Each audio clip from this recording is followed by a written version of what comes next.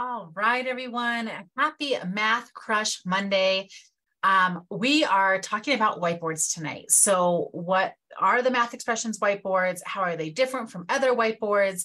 Um, how should we use them? How do we keep them? What's their purpose? I'm going to give you all the details tonight. So, if you don't know who I am, my name is Shannon Keebler. I am the moderator of this Facebook group.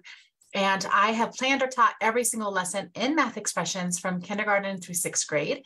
I know the resource very well. I do not work with publisher. I work completely independently, just helping teachers just like you across the nation implement math expressions well. So most trainers that you get uh, have never taught in the classroom or they have very limited experience in the classroom or they have never taught with that curriculum. That's what makes me different. I have taught with math expressions for years since uh, 2009 uh, and have worked in every copyright since then. I work very closely with Dr. Karen Fuson, and I'm no longer currently in the classroom, but I spend generally about a week to two weeks um, a month in classrooms just like yours, coaching alongside of you, teaching model lessons, so on and so forth. So enough about me. Let's get started with whiteboards and let me know in the chat if you're watching. I would love to just say, like, say, hey, what grade are you? I'll talk about your grade level, of course, tonight, but I just love to know who's watching. If you're watching the replay, just say replay. Um, it's always helpful to see who's here and to know that I'm not just talking to myself.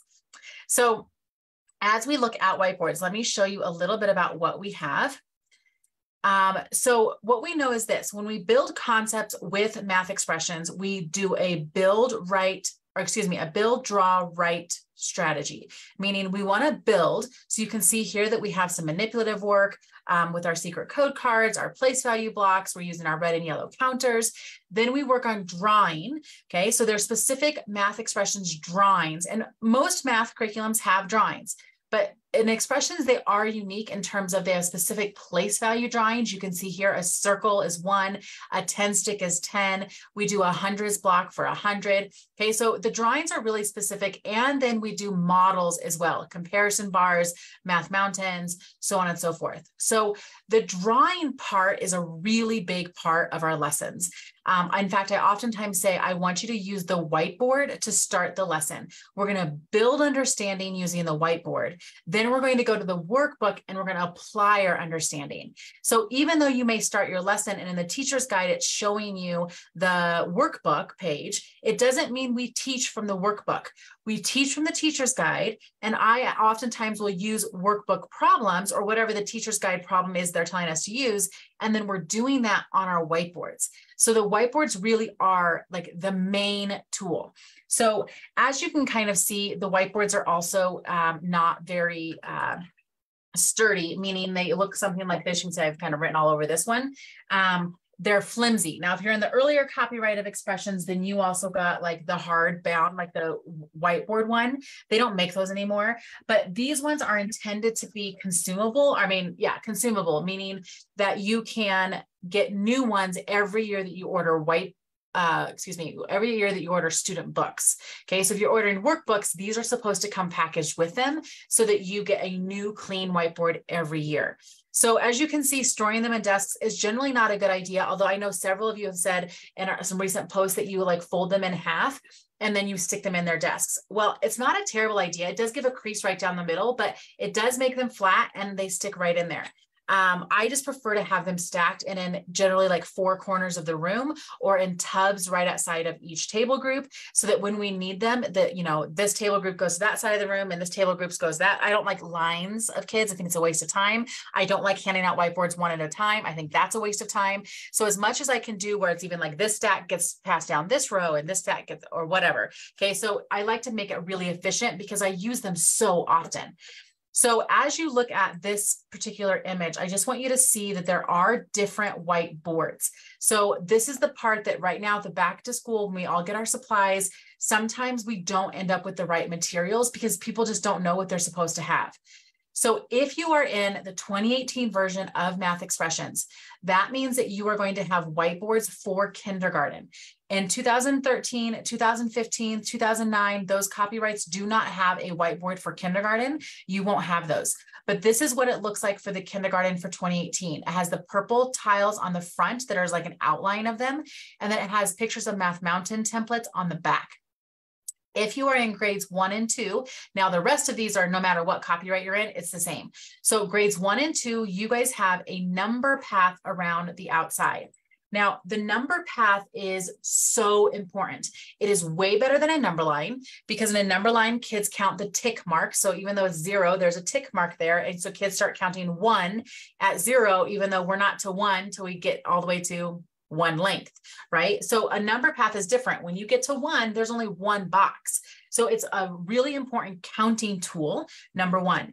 Number two, we're going to use it to make a 10. We're going to use it to do count bys in third grade. We're going to use it to um, add on and count on in first grade and in second grade. We're going to use it to make our 10 sticks and count by tens and then by ones. We're going to use it to round. So this number path is extremely important in grades um, K through four. Okay, so don't not use the whiteboard because it is the scaffold. It is helping students to do whatever that grade level content is.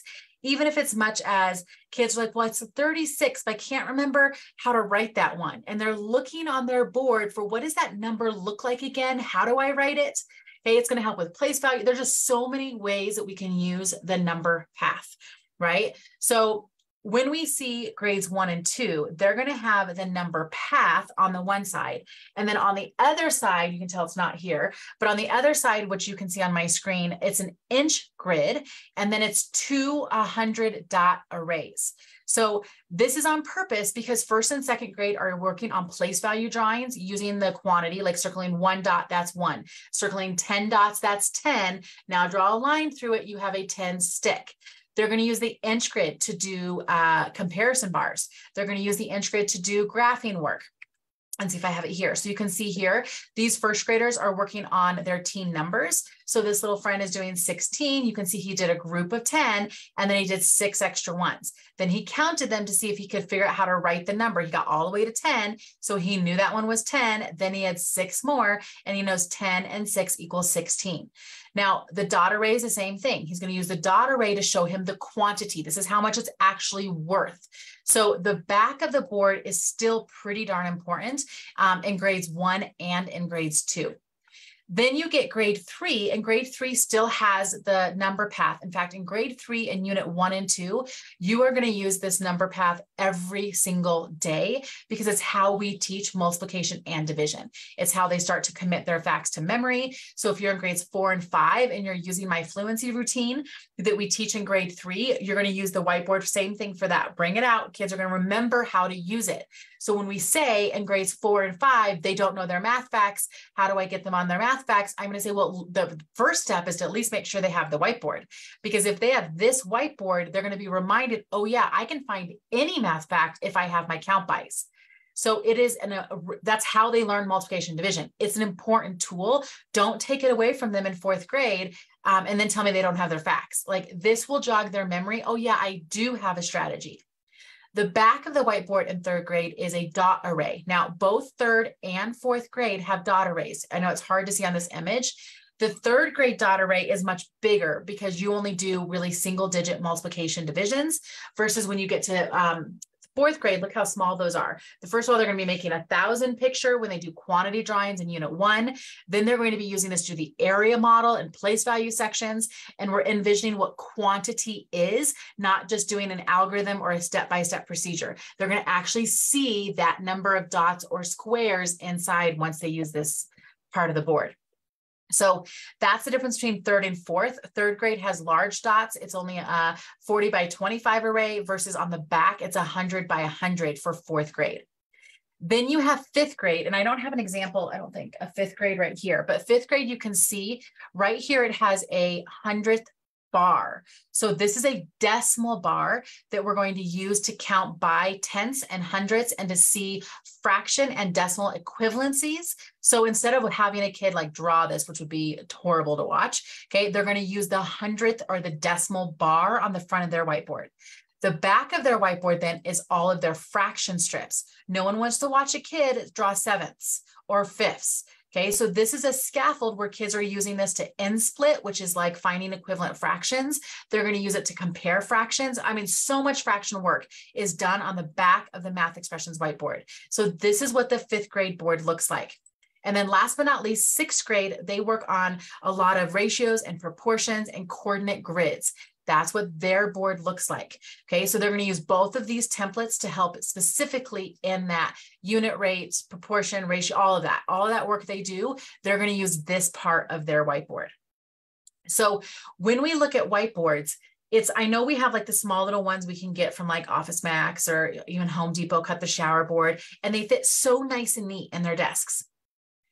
That's great for just general math work, but I would really suggest you use the expressions whiteboard as your math whiteboard. When we're doing math, we use the big ones. It's just going to help students have the right tools on the board that they need. It's big. So as students are doing their work, you'll notice they actually start like uh, doing larger work, which is important because so much of math expressions is about sharing work and having your whiteboard up in front of the room and talking about what you did and comparing it to someone else's work.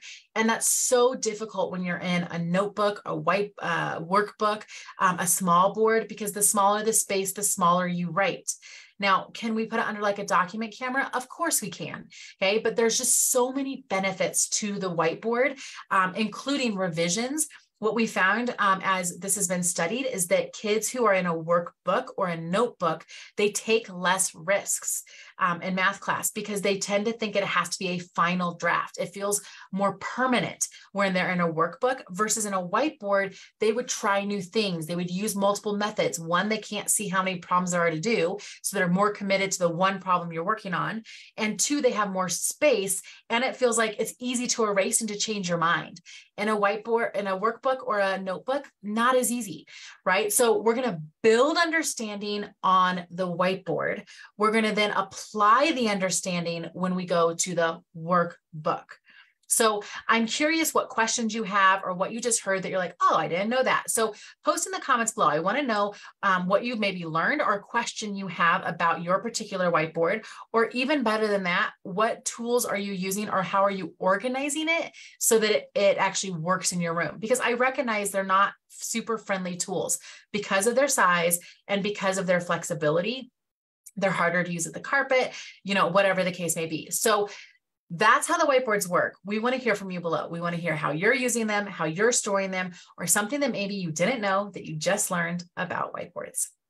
All right, my friends, that is what we're talking about tonight. Let me see if I can get us to um, our quick feed here to see if there's any questions. So let me know below if you're here, just say hello.